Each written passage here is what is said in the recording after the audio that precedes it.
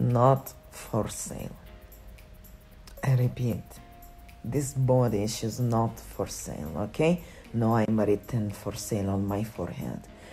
You know, the selling of the body in this uh, uh, country is very high, especially in entertainment business.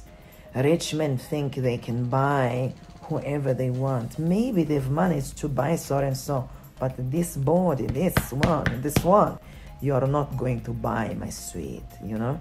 Put some respect on women. Sis, in fact, I blame women for letting men think they can just uh, walk in and uh, buy. Me, you cannot buy me. I am not for sale, my sweet. I am just telling you. It doesn't matter how much money you're getting. Not for sale. Finish.